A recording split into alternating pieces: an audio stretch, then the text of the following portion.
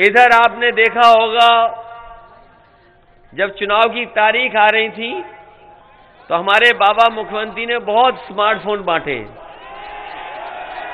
लाखों लाख बांट दिए स्टेडियम में। टैबलेट बांटी और लैपटॉप भी बांटा। लेकिन रायबरेली के लोगों को कुछ नहीं मिला। बताओ, मिला आपको किसी को? और मिलता भी कैसे? बाबा जी खुद नहीं लैपटॉप चला पाते। अभी तक तो मैं समझता था कि लैपटॉप नहीं चला पाते हैं। लेकिन अभी जानकारी हमें मिली है कि हमारे नौजवान तो चला लेते हैं स्मार्टफ़ोन और आपको इसीलिए नहीं मिला क्योंकि हमारे बाबा मुख्यमंत्री स्मार्टफ़ोन भी नहीं चला पाते। और उनका प्रिय जानवर जानते हो कौन सा है? गौशाला के नाम पर बताओ कितना पैसा आया? हमारी गाय माँ भूखी जान दे रही हैं। भूखी कोई उन्हें खाने को भूसा नहीं दिया। पता नहीं कहाँ चला गया बजट।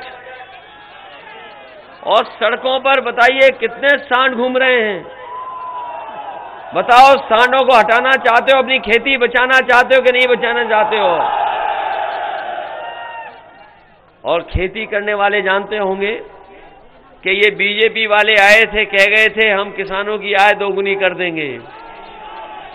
किसान भाइयों, बताओ, कौन सी पैदावार की आपको कीमत मिल गई?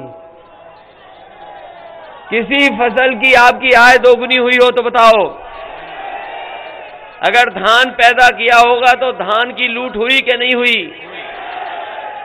और हमारे अगर किसानों ने गन्ने का भुगतान के लिए कहा होगा तो गन्ने का भुगतान भी नहीं हुआ कहीं भी। और किसी फ़सल की ये कीमत नहीं दे पाए। और जब किसान को खाद की ज़रूरत थी तो बताओ खाद किसी को मिल गई? न डीएपी मिली। और अगर किसी को बोरी खाद की मिल भी गई होगी तो उसमें से पाँच किलो की चोरी हो गई। ये बोरी में चोरी कर रहे हैं कि नहीं कर रहे हैं? और याद होगा कि नहीं याद है आपको? कि यही कह रहे थे कि हवाई चप्पल में चलने वालों को हवाई जहाज़ पे बैठाएँगे। और डीजल, पेट्रोल की कीमत कहाँ पहुँच गई? पेट्रोल सौ के पार हो गया कि नहीं? ये दोबारा सरकार में आ गए तो देख लेना पेट्रोल दो सौ रुपए लीटर बिकेगा, दो सौ रुपए लीटर। इसीलिए समाजवादियों ने तय किया है कि महीने में हमें अगर एक लीटर या दो लीटर भी फ्री देना पड़ेगा तो मोटरसाइकिल के लिए फ्री पेट्रोल देने का काम समाजवादी लोग करेंगे।